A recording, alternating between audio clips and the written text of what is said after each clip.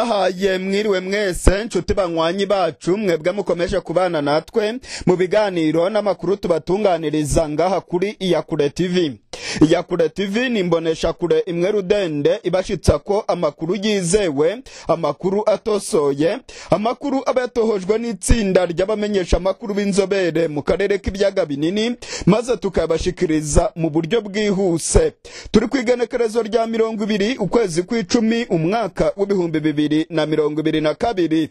Muri repubulika iharanira demokarasi ya kongo ubwoba ni bwose ko inyeshyamba za emu makumyabiri na gatatu zaba zifite gahunda yo kwigarurira umujyi wa goma. Abamenyesha amakuru bacu baherereye mu burasirazuba bwa kongo baravuga ko abanyagihugu baherereye muri teritwari ya nyiragongo bafite ubwoba ko abarwanyi ba emu makumyabiri na gatatu batangiye gusatira agace ka nyiragongo ndetse amakuru akavuga ko abarwanyi ba generali surutani makenga nta kabuza mu masaha make cyane. Baraba bamaze kwinjira muri teritwari ya nyiragongo barimo gusatira umujyi wa goma. Amakuru arimo gutangazwa na sosiyete sivile muri nyiragongo aravuga ko hari abarwanyi barimo kwibonekeza muri iriya teritwari ya nyiragongo. Aba barwanyi rero bikavugwa ko ari abarwanyi benshi ba emu makumyabiri na gatatu ndetse ngo bafite ibitwaro biremereye cyane bikavugwa ko emu makumyabiri na gatatu yatangiye gusatira teritwari ya nyiragongo mu minsi ibiri iheze ndetse ngo abarwanyi ba emu makumyabiri na gatatu batangiye ibikorwa by'ubutasi ndetse no kumenya ingene FRDC ihagaze muri turiya duce. Ubu ngubu ngo ubwoba akaba ari bwose kuko abanyagihugu bavuga ko emu makumyabiri na gatatu ifite umugambi karundura wo kwigarurira umujyi wa Goma ndetse ko abasirikare ba Kongo bari baherereye hariya muri teritwari ya Nyiragongo nabo basa nkaho basubiye inyuma bagahunga bakigira mu mujyi wa Goma. Ubu ngubu ngo hariya muri Nyiragongo hakaba hari abasirikare bake cyane rwose ba FRDC badashobora guhangara emu makumyabiri na gatatu.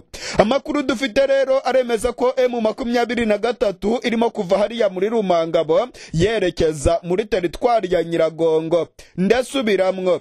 Amakuru yizewe turimo kuvana muri emu makumyabiri na gatatu ndetse amakuru arimo gutangazwa n'umumenyesha amakuru wacu dani faruku aremeza ko abarwanyi ba generali surutani makenga barimo kwerekeza muri teritwari ya nyiragongo. Nyuma yo gukubita frdc bakayishwiragiza ndetse nyuma yo kwegukana intsinzi ihambaye cyane hariya ku kigo cya gisirikare cya rumangabo ubu ngubu abarwanyi ba emu makumyabiri na gatatu barimo kwerekeza muri teritwari ya nyiragongo ni hafi cyane y'umujyi wa goma amakuru akavuga ko generali surutani makenga yarakaye cyane ndetse ko generali surutani makenga ashaka kwereka ubutegetsi bwa kongo ko ibintu bikomeye bakemera kugirana ibiganiro ku neza cyangwa ku nabi emu makumyabiri na gatatu irashaka guforusa ibiganiro ikoresheje ingufu za gisirikare kuko ibiganiro byaranze. Ndetse emu makumyabiri na gatatu yatanze agahenge ngo imirwano ihagarare ariko ubutegetsi bwa kongo bwavuniye ibiti mu matwi. Nta kintu bakoze kugira ngo bagirane ibiganiro n'uyu mutwe witwaje ibirwanisho uvuga ko uharanira uburenganzira bwawo mu burasirazuba bwa kongo ndetse ugaharanira uburenganzira bw'abavuga ururimi rw'ikinyarwanda bakomeje gutotezwa no kugirirwa nabi mu gihugu cya kongo. Gushika ubu rero amakuru dufite aravuga ko imirongo miremire y'abarwanyi ba emu makumyabiri na gatatu irimo kwerekeza muri teritwari ya nyiragongo ndetse amakuru akavuga ko abanyagihugu benshi ubwoba ari bwose ndetse abanyagihugu bakaba baratanguye guhunga kariya gace benshi bakerekeza mu mujyi wa goma abandi bakagenda batorongera bakavuga ko ibintu aho bigeze hagiye kuba intambara ikomeye cyane kuko ngo emu makumyabiri na gatatu nta kindi kintu igiye gukora usibye gucakira umujyi wa Goma. Abarwanyi ba Generali Sultani Makenga rero ku muvuduko uhambaye cyane barimo barerekeza mu gace ka Nyiragongo. Ntabwo turamenya niba FRDC iri buze kubasha gutangira aba barwanyi cyangwa se niba FRDC iri buhagarike abarwanyi ba Makenga cyangwa se niba hari bube imirwano ikomeye cyane yo kumaranira agace ka Nyiragongo. Dore ko mu minsi yaheze higeze kuba imirwano ikomeye bikomeye cyane. Hariya muri teritwari ya nyiragongo ubwo emu makumyabiri na gatatu yari igeze mu birometero bitanu gusa uvuye mu marembo y'umujyi wa goma. Amakuru rero aravuga ko ibitwaro bikomeye bya emu makumyabiri na gatatu babikozeho. Abarwanyi benshi ba emu makumyabiri na gatatu barimo kwerekeza muri nyiragongo ari nako abasirikare benshi ba emu makumyabiri na gatatu bakomeje kugenda rwose bavuga ko morali ari yose. Gahunda ni ugusonga mbere ndetse ngo bashobora kwigarurira umujyi wa goma bakereka ubutegetsi bwa kisekedi ko ibintu bikomeye cyane ko bagomba kugirana ibiganiro ku neza cyangwa ku nabi. Mu gihe rero emu makumyabiri na gatatu irimo gusonga mbere yihuta cyane yerekeza muri teritwari ya nyiragongo ubu ngubu perezida kisekedi we aherereye mu gihugu cy'ubwongereza aho yagiye gukubita ibipfukamirizo imbere y'umwami w'ubwongereza sharire wa gatatu amusaba ko yamurengera akamutabara akamukiza intambara iri mu gihugu cye. Dore ko perezida kisekedi mu majambo yiwe akomeje kuvuga ko igihugu cy'u rwanda ari cyo gishyigikiye abarwanyi ba emu makumyabiri na gatatu.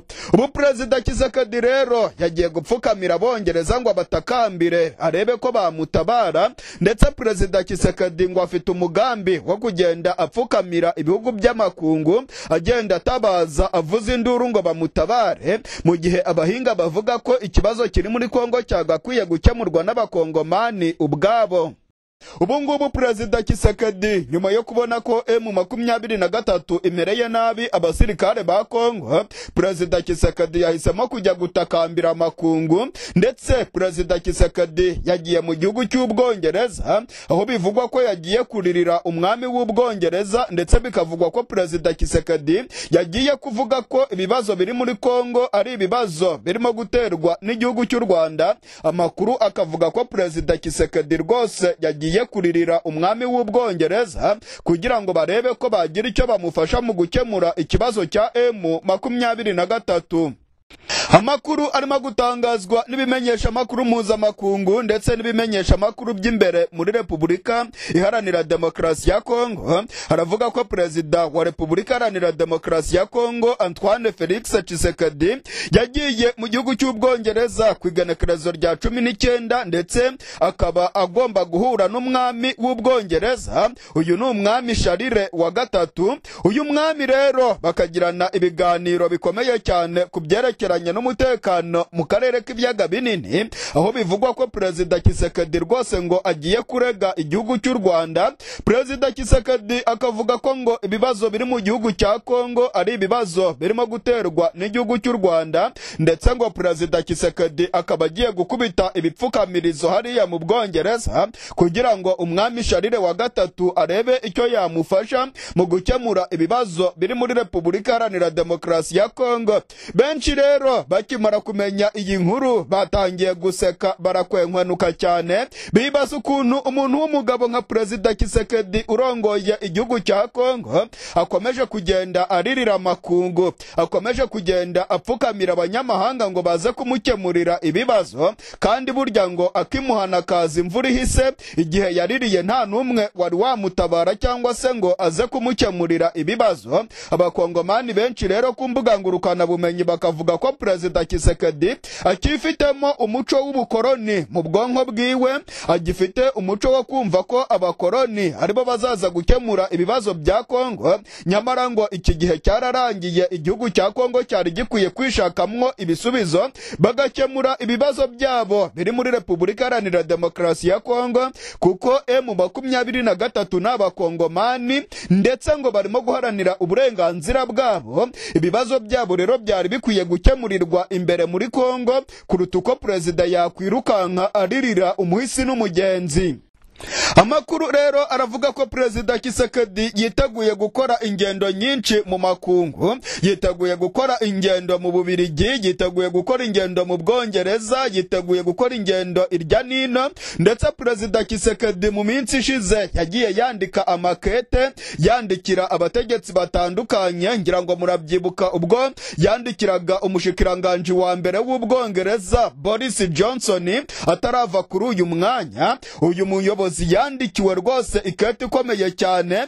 Ubwo perezida kisekedi yamusabaga kugira ikintu yakora kugira ngo abe yabuza igihugu cy'u rwanda ngo guhungabanya umutekano wa kongo mbibutse ko perezida kisekedi we mu majambo yiwe akomeje kwemeza ko ngo emu makumyabiri na gatatu ishigikiwe n'igihugu cy'u rwanda ndetse ngo emu makumyabiri na gatatu ntabwo ibaho ahubwo ngo ni igisirikare cy'u rwanda kinyegeje inyuma y'aba barwanyi ba emu makumyabiri na gatatu ibi rero bikaba ari ibyagirije bya repubulika iharanira demokarasi ya kongo.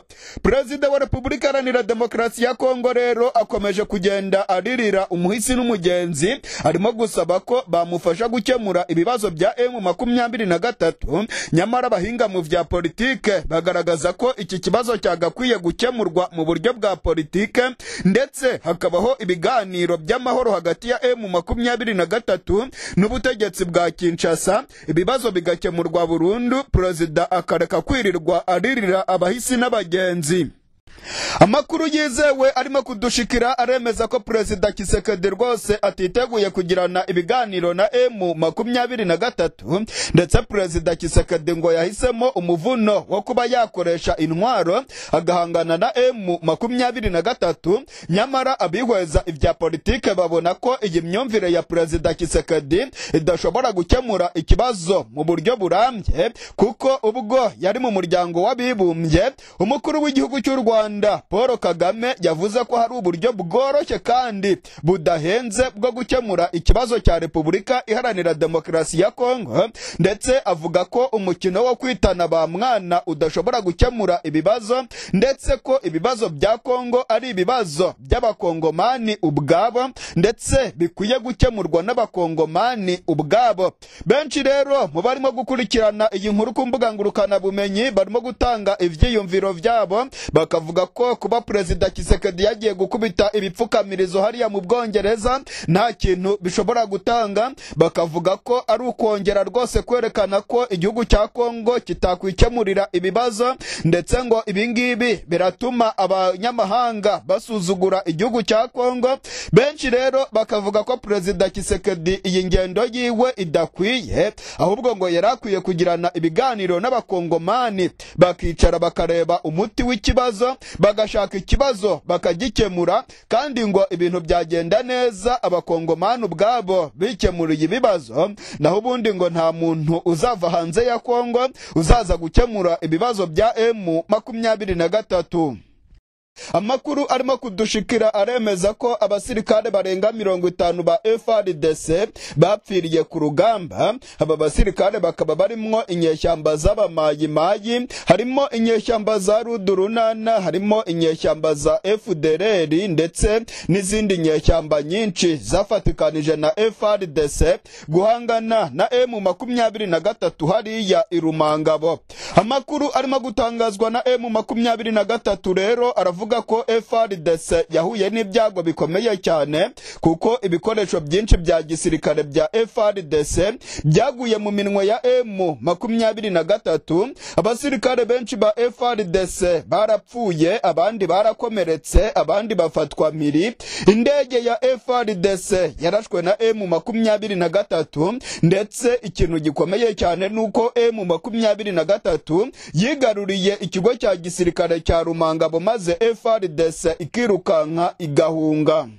Amakuru arimo kudushikira muri aka gatondo arimo kuva irumangabo arimo gutangazwa na emu makumyabiri na gatatu aremeza ko FRDC ubungubu yamaze guhunga kariya gace. FRDC ikaba yarerekeje mu bice bya Nyiragongo hafi ya Goma. Amakuru rero arimo gutangazwa n'abanyagihugu aravuga ko aba barwanyi ba Repubulika Iharanira Demokarasi ya Kongo FRDC bafatikanije n'abamayimayi bagaragaje ubugwari ndetse bagahunga urugamba. Ibintu byatumye generali sultani makenga yishongora ku gisirikare cya kongo ndetse umuvugizi wa emu makumyabiri na gatatu mu bya gisirikare majoro wiringoma akaba yavuze ko emu makumyabiri na gatatu badashobora gutsindwa urugamba ndetse ko emu makumyabiri na gatatu izakomeza kwihagararaho igahangana mu gihe cyose frdc izaba yabagabyeho ibitero byo kubashotora. Muri aka kanya rero rero emu makumyabiri na gatatu iravuga ko abasirikare barenga mirongo itanu ba kongo bishwe mu gitero gikomeye cyane. Cyagabwe na emu makumyabiri na gatatu hariya irumangabo iki gitero kikaba cyari kigamije kongera kwigarurira ikigo cya gisirikare cya rumangabo. Iki kigo cya gisirikare cya rumangabo ni kimwe mu bigo bikomeye cyane bya gisirikare mu burasirazuba bwa repubulika iharanira demokarasi ya kongo amakuru arimo kuva muri emu makumyabiri na gatatu aravuga ko abasirikare barenga mirongo itanu bapfuye.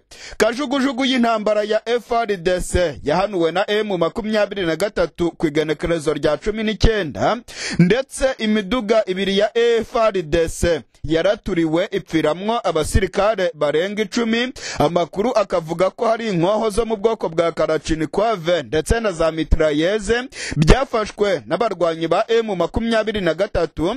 Amakuru yandi akavuga ko abasirikare barenga mirongo itatu ba frdc bafashwe matekwa ndetse abandi barenga mirongo inani ngo bakaba barakomerekeye ku rugamba.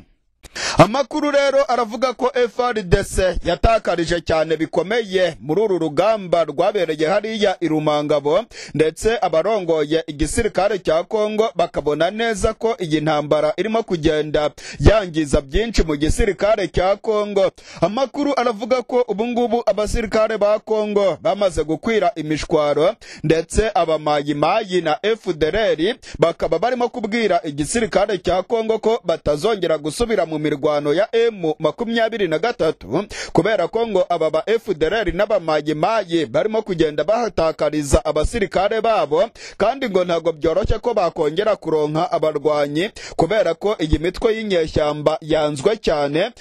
Izi nyeshyamba rero ngo kongera kubona abasirikare byabagora ndetse ngo n'abo bafite bakaba barimo kugenda bicwa n'abarwanyi ba emu makumyabiri na gatatu kuko barimo kwishora ku rugamba bafatikanije na FRDC ayandi makuru kandi arimo kuvugwa mu gisirikare cya Kongo nuko ubu ngubu abasirikare ba Kongo barimo kurirayo kwarika kubera ko intwaro zabo hafi ya zose zamaze kugwa mu maboko y'izi nyeshyamba za FDLR ndetse n'abamayimayi. Aba bamayimayi bahawe imyenda y'igisirikare cya Kongo aba ba FDLR bahawe impuzu z'igisirikare cya Kongo bahawe inkweto ndetse n'ingofero n'imyenda yose y'igisirikare cya Kongo ibi ngibi rero ngo birimo gutuma igisirikare cya Kongo kibura ibikoresho kubera ko byinshi birimo kwikubirwa n'abamayimayi ndetse na FDLR ndetse no ku rugamba ngo aba FDLR barimo kugenda biba intwaro nyinshi cyane za Kongo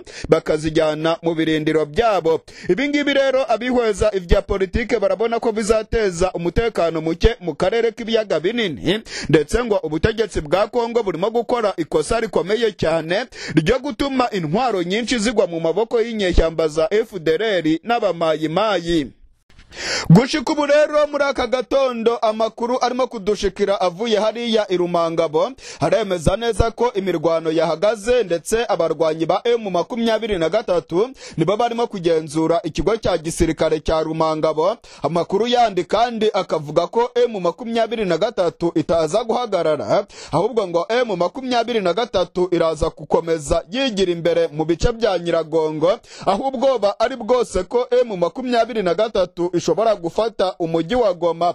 Amakuru atangazwa n'abanyagihugu bahariya muri Nyiragongo aravuga ko hari abarwanyi bagaragaye. Bikavugwa ko ari abarwanyi ba M makumyabiri na gatatu ndetse aba banyagihugu barimo baratabaza igisirikare cya leta ngo kibe cyabatabara gisubize inyuma aba barwanyi kuko ngo hashize iminsi ibiri hibonekeza abarwanyi. Bivugwa ko ari intasi za M makumyabiri na gatatu zirimo gushaka uburyo zagaba igitero karundura ku mujyi wa Goma gushika ubu rero ibintu biratuje. Nta rusaku rw'inkoho rurimo kumvikana ndetse abanyagihugu bari bataye izabo bamwe batanguye kugaruka mu nyubakwa zabo. Emu makumyabiri na gatatu igatanga agasopo kuri FRDC ivuga ko FRDC nikomeza ibikorwa byayo by'ubushotoranyi. Emu makumyabiri na gatatu izirwanaho ikabashwiragiza ndetse ikigarurira utundi duce dukomeye mu burasirazuba bwa Kongo ikigo cya gisirikare cya rumangabo kimaze kugwa mu maboko y'abarwanyi ba emu makumyabiri na gatatu barongowe na generali surutani makenga. Muri aya masaha y'ijoro inkuru imaze kumenyekana ndetse inkuru irimo gutangazwa n'abasirikare ba kongo inkuru irimo kwemezwa na emu makumyabiri na gatatu ndetse abamenyesha amakuru bacu baherereye mu burasirazuba bwa kongo bakaba bavuga ko byamaze kurangira. Ikigo cya gisirikare cya rumangabo kimaze gufatwa n'abarwanyi ba emu makumyabiri na gatatu nyuma y'imirwano y'amaraso imirwano y'injyanamuntu. Imirwano ikarishye cyane yari imaze iminsi itatu ibera ku kigo cya gisirikare cya rumangabo aho frdc yafatikanije n'abamayimayi frdc igafatikanya na fdrr igafatanya na kodeko ndetse na nyatura. Aba barwanyi bose bakaba barafashije frdc guhangana na emu makumyabiri na gatatu ariko urugamba rukaba rurangiye emu makumyabiri na gatatu ibashwiragije benshi birukanse bakwira imishwaro bariruka bata intwaro zabo abandi bakaba bakomerekeye ku rugamba ndetse emu makumyabiri na gatatu ikaba irimo gutangaza ko benshi mu basirikare ba kongo n'aba bamayimayi na fdrr bakomerekeye ku rugamba abandi bakicwa ndetse emu makumyabiri na gatatu ikaba irimo kuvuga ko yafashe mpiri abasirikare ba kongo ari bazima. Amakuru arimo gutangazwa na emu makumyabiri na gatatu aremeza ko yamaze gufata mpiri abasirikare ba baba mirongo ibiri na barindwi ba frdc ndetse M makumyabiri na gatatu ikavuga ko aba basirikare biyongera ku bandi bari bafashwe mpiri ku munsi w'ejo. Emu makumyabiri na gatatu ikaba itangaza ko abasirikare bose bafashwe mpiri ba baba igitigiri cya mirongo ine ndetse M makumyabiri na gatatu ikavuga ko yagaragaje ubuhanga buhambaye cyane muri iyi mirwano imaze iminsi itatu. Ibera hariya ku kigo cya gisirikare cya rumangabo bidasubirwaho rero emu makumyabiri na gatatu imaze kwegukana intsinzi ihambaye cyane. Emu makumyabiri na gatatu imaze kwigarurira ibitwaro biremereye cyane bya frdc byari biri hariya mu kigo cya gisirikare cya rumangabo. Iyi mirwano imaze gusiga frdc imaramaye. Frdc iramwaye mu buryo bukomeye. Frdc irakubiswe mu buryo budasubirwaho. Indege ya kajugujugu ya frdc yahanuwe n'abarwanyi ba makumyabiri na gatatu imiduga ishika kuri ibiri. Yaturiwe n'abarwanyi ba emu makumyabiri na gatatu. Emu makumyabiri na gatatu iravuga ko abarwanyi benshi ba fdrr abamayimayi bafatikanije na frdc bapfiriye ku rugamba kuko ngo bagiye baterwaho ibisase biremereye. Emu makumyabiri na gatatu nubwo idatangaza igitigiri cy'abasirikare ba kongo bapfuye. Amakuru aravuga ko benshi bapfuye ndetse abandi bagakomereka. Emu makumyabiri na gatatu iravuga ko emu makumyabiri na gatatu ari igisirikare gikomeye ndetse emu makumyabiri na gatatu ikaba irimo gutanga gasopo kuri frdc ikavuga ko niba bakeneye amahoro mu burasirazuba bwa kongo bakwiye kugirana ibiganiro na emu makumyabiri na gatatu naho ubundi ngo intambara ntabwo frdc ishobora kurusyaho. Amasanamu yakwiragiye ku mbuga ngurukanabumenyi yerekana abasirikare ba kongo barimo guhunga urugamba yatumye abanyagihugu banebagura cyane inyifato ya frdc abanyagihugu bagiye ku mbuga ngurukanabumenyi maze batangira gutuka abasirikare ba kongo ndetse batangira guhamagarira perezida kisekedi ko yagira icyo akora. Amahoro akagaruka mu burasirazuba bwa kongo naho ubundi ngo biribonekeza ko abasirikare ba kongo barimo kurwana hariya muri za rumangabo. Ari ibinebwe ndetse ngo nta n'ikintu bashobora gukora nta n'ubwo ngo bashobora guhangara emu makumyabiri na gatatu. Abanyagihugu ku mbuga ngurukanabumenyi baravuga ko frdc yatsinzwe urugamba ndetse ngo ikimenyetso cya mbere cyerekana ko frdc yatsinzwe urugamba ni uko umujyi wa bunagana umaze amezi ane yose urimo kugenzurwa na emu makumyabiri na gatatu ndetse ngo frdc nta gikorwa na kimwe cyo kubohoza uyu mujyi yigeze ikora ahubwo ngo bakomeza kugenda babeshya abanyagihugu ko barimo gutegura igitero karundura cyo kubohoza bunagana ariko ngo icyo gitero baragitegereje amaso ahera mu kirere. Frdc rero irimo guhura n'ibyago. Abarwanyi ba frdc bahunze urugamba. Benshi bahungiye muri nyiragongo ndetse abandi barimo kwerekeza mu mujyi wa goma. Bikavugwa ko emu makumyabiri na gatatu na yo igiye gukomeza kubacanaho umuriro. Emu makumyabiri na gatatu ngo ntabwo iza guhagarara. Generali surutani makenga ngo arashaka gutanga isomo rikomeye cyane agakubita FRDC akayishwiragiza akayikubita akayumvisha ndetse amakuru arimo kudushikira aravuga ko General Sultani Makenga ashaka kongera gucakira umujyi wa Goma kugira ngo abe yashyira igitutu kuri FRDC ndetse n'ubutegetsi bwa Repubulika Iharanira Demokarasi ya Kongo bemere kugirana ibiganiro na M makumyabiri na gatatu.